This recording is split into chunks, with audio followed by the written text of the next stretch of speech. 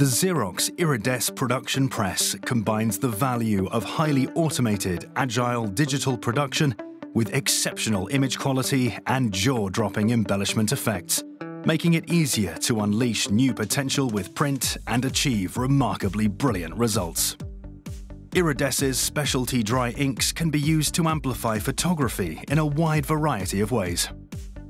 In this video, we'll show you effects using a metallic ink, clear and white. In the first example, we'll use silver and clear to add some dimension and pop to this city photo. Let's start with our original CMYK image and think about how to best enhance it with specialty inks. It is helpful to consider the order of the inks in the press, which your print provider can help you understand, then dissect the image. In this case, we're going to add depth by including a silver layer under the city background. We'll leave the cabs and clock CMYK and hit them with a layer of clear to add extra shine. First, we'll create our selection of the cabs and clock, then save it. After that, duplicate the original layer and call it underscore CMYK cabs. Let's load the selection and invert it to select the background, then delete the background from that layer.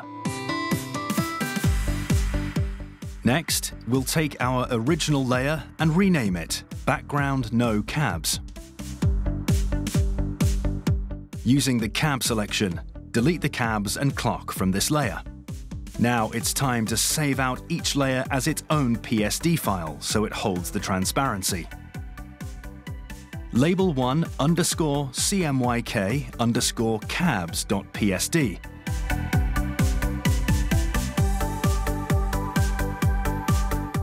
and 1 underscore CMYK underscore background.psd. While we are still in Photoshop, we're going to create our clear cabs and clock asset. We want the clear to perfectly mimic the shapes of each cab and the clock, so using our Photoshop selections is ideal. We'll open the PSD file we just saved as underscore CMYK underscore cabs then do a save as to underscore clear.eps. We'll go to Image, Mode, Grayscale. Then we'll load our cab selection and go to Edit, Fill, 100% black. Next, we'll go to Image, Mode, Duotone. Under Type, select Monotone. Double-click the swatch and make it 100% magenta. Name the ink Clear with a capital C. Click OK and save. Last but not least, we need to create our silver base layer. We'll start with the clear file and do a save as to underscore silver.eps. Then we'll go back to Image, Mode, Duotone, and double-click on the ink swatch, then Color Libraries. We'll select Pantone 877 to get a good representation of silver. We'll rename to Silver with a capital S so the press recognizes the spot color. Next, we'll select all and go to Edit, Fill, 100% black to create a flood of silver on the layer. Then go to Select, load the cab selection, delete the cabs and clock from the layer, and save. Finally, we need to assemble all these great assets in InDesign. We'll start by creating our layers.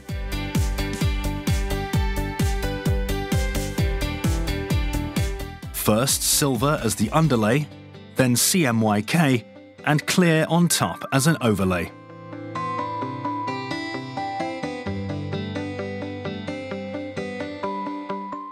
To make things easy and keep the positioning of our image the same, we'll copy and paste the CMYK file in place onto the silver layer.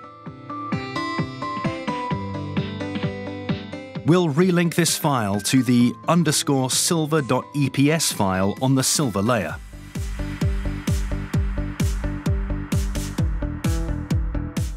Next, on the CMYK layer, we'll relink the pasted image with the underscore CMYK background file.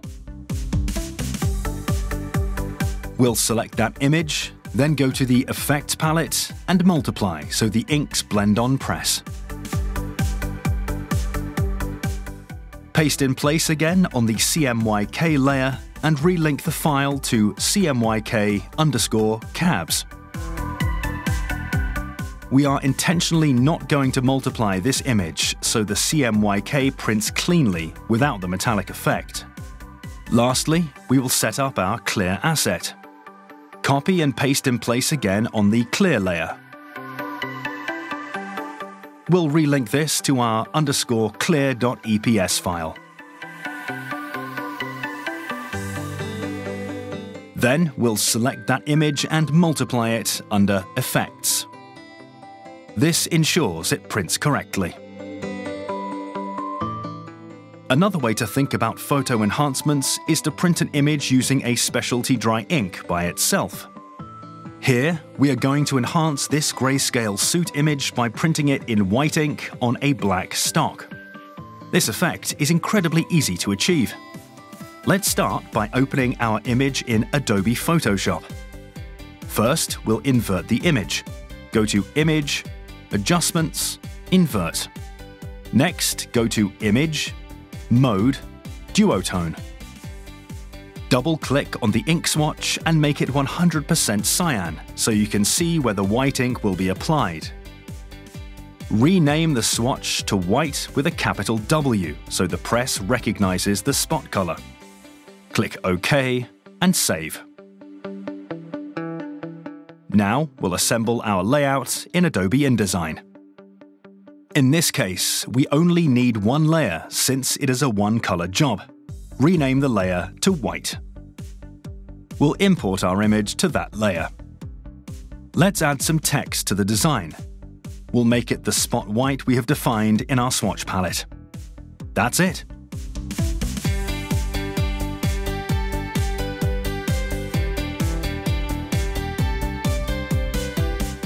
When a file is ready to be exported as a PDF, there are specific settings that need to be checked.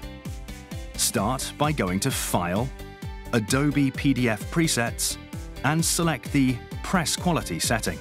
Name your file and click Save. Under General Settings, it's important to make sure we're exporting both visible and printable layers. On the Compression tab, ensure all image types are set to Do Not Downsample. And under Output, there should be no color conversion, and the profile inclusion policy should be set to include all RGB and tagged sources. Lastly, under Advanced, make sure to note subset fonts when the percent of characters used is less than 100%. Be sure to review the Iridesse design and file preparation guide for more ideas, tips, and detailed instructions on how to use the Xerox Iridesse production press to unleash more high-value wow per page for all your digital jobs. Now that's brilliant. Visit Xerox.com to learn more.